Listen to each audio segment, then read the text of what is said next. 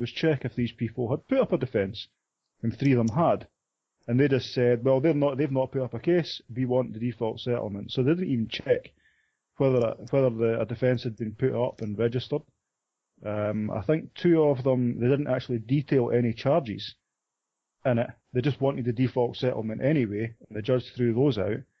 Um, and there was a couple that they said, the judge said technically it was in, in default, but the whole behaviour of, AC, of ACS law was despicable. Um, and uh, so all eight of them were thrown out, um, and they were, they were handed their asses on so many different counts, um, that it's just, it's just funny that they, they failed so spectacularly. The, the, the thing with all of these settlement things is they don't want to go to court because that costs money. They want people to pay up. It's an extortion racket. It's nothing more or less than an extortion racket. And they don't want to have to go to court. Uh, the only reason they do go to court is so that they can officially say on their letters to people, we, we have taken people to court and we've won. That's what they wanted. They wanted to go in half an hour later, t- drink their cappuccino and come out with all these default settlements just handed to them. And they failed spectacularly on all eight fronts. So well, I'll, just sort of put um, put a closure on what you just said with um, a quote from uh, Judge Birss, I believe you pronounce his name as, um, who was uh, presiding over this uh, this application, and he he says this. I should end by recording that I am not sorry to have reached the conclusion I have in refusing all the requests for default judgment. In all these circumstances, a default judgment arrived at without notice by means of essentially administrative procedure, even one restricted to a financial claim, seems to me to be capable of working real injustice. So I think um, the judge uh, summed up his views uh, on that quite uh, quite clearly. Um, sorry, Roy, was there anything else you wanted to add to this? Yeah. Um, well, you mentioned sort of something about a server being under attack, and I'm just wondering if it's being hijacked as well. Uh, what happened with Media Defender? Do you, do you know Media Defender? Yes, yeah, they're the people. Uh, they also, that... I have a friend of mine. He's actually hosting a mirror of the leaked emails, uh, and this actually shows. I'm pretty surprised if they not leaked any um, kind of uh, small fragments of text from ACS law and things that they said and did. Is well, the email leaks themselves. Yeah, because I mean, yeah, obviously, email, uh, some criminal email leaks. Well, the email leaks yeah. Sorry, I was to say the email leaks hit all the, the torrent trackers, all the main ones, yeah. very quickly. But it's also they've also been present on Usenet um, binaries for quite a long time as well. Um, so certainly, if there was any sort of attack against uh, any of the trackers that were hosting a tracker, the tracker file, um, it's certainly been on Usenet for for a long time since yeah. the leak was first made. This is um, to show a certain intent to uh, violate the exception, the exceptional rules, or uh, I suppose uh, one one more thing I wanted to say though is uh, there is a different copyright uh, troll. Is it's called copyright troll? I think that's the first time people use the term. Uh, it's a company called Righthaven, I think, or Rightshaven.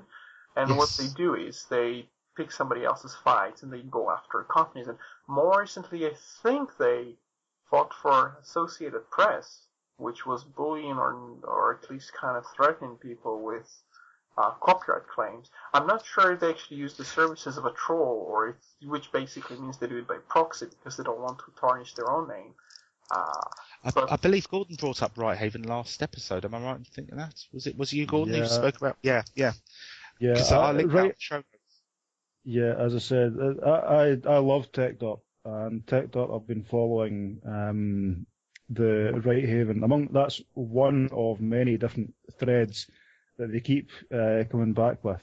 Sometimes companies or individuals just make it so easy by screwing up so badly, so often, and so publicly that it's hard not to write about them.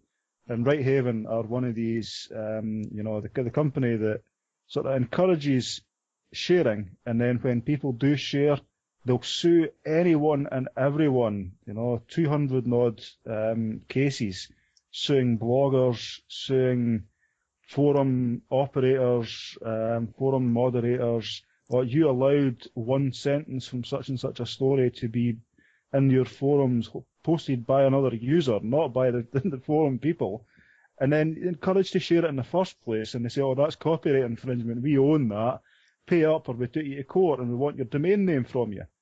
You know, I mean, these, these Righthaven people are really clueless. They're completely clueless. Um, so yeah, I mean, TechDirt is they've been following lots of different angles to Righthaven and just how stupid they are. So yeah, it's it's it's, it's a worrying. Uh, I mean, it's a worrying concept. This whole um, copyright infringement allegation uh, system, because one could argue that it's quite a good way. If, say, for example, myself, you, and Roy made our own uh, made our own music track. If we intentionally leaked that onto a tracker and just waited for enough people to download it, uh, we could then employ the services of a company like ACS Law, Davenport and Lyons, or, or whatever, um, and obviously chase up all these people that have um, shared the, the file. And it, it, does smack to me, you know, you look at the trackers and you, you look at sort of Torrent Freak, which says, I think it has a, has a feature every week about the top 10 most pirated movies. Um, sounds like and, intentionally. Uh, with yeah, to be clear. Exactly. Sounds the movie companies actually put the files there too. And it, it could well be. So, we'll, we'll, never know. Um, and it, it's a it's a very good way to make money, especially if your product is lacking and your product normally under normal circumstances wouldn't make the revenue required to uh, to break even, as it were. It could be, one I could argue, a very good way to get a return on on a on a substandard product. Um, just a, yeah, just a theory. Yeah, it's it's more than that though. It's more than that. What Righthaven do is they'll actually look at stuff that someone else publishes.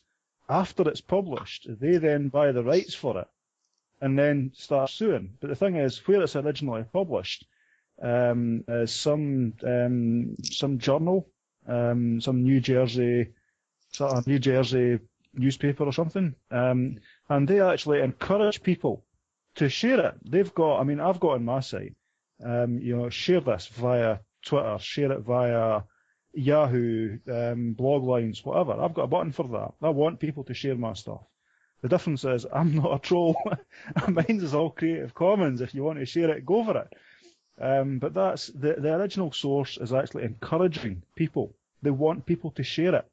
And then they're selling the rights to that piece to Righthaven, knowing that Righthaven are going round and saying, to all the people who were encouraged to share it that you're doing it illegally.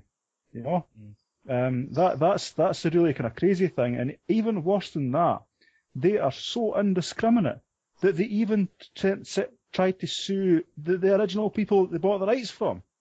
Mm. They see, saw that journal and said, "Oh, that's co- that's infringing our, co- our copyright, so we're suing you." That's the original source that they bought it from. they don't didn't even check that. So they're suing the original source as well. That's how insane Righthaven are. Could be done with patents as well. You could buy a certain patent from a company and then sue the company for implementing the ideas which you made up in the first place. Uh, especially when you start to pass patents around.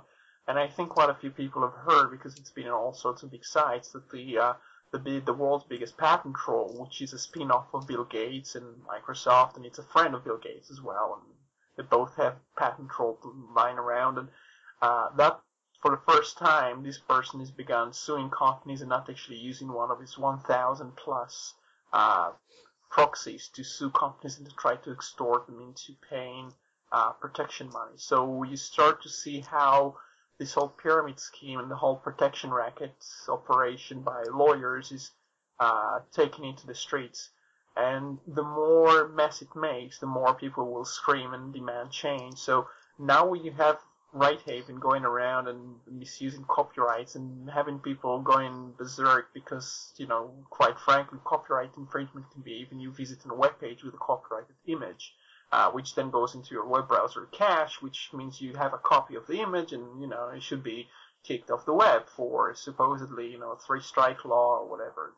Uh, receive a warning at best. And, and on, so, so, Sorry, go yeah, yeah. I, was, I, was, just, I was just, I was just going to quickly add the on the Raven um, thing. They, they, they've they fired out so many lawsuits. That that's their that's their business. As they sue people. That's how they make their money. Um, and the, the, what they weren't what they were expecting was a lot of judges just to sign off on these payment slips and just rake in a lot of cash. Um, and more and more judges are looking at these and going, "Hey, this is fair use. What are you suing for?" But unfortunately, when they're they're trying to backpedal on these, as, as the, the different judges are starting to spot that this is abuse and the actual use is fair use and it was encouraged, and that there is no case, and they're throwing out these cases. um, the more the Righthaven are trying to backpedal um, on and dropping these cases, unfortunately, um, they've been countersued by quite a few of the people that they've threatened. They've been countersued.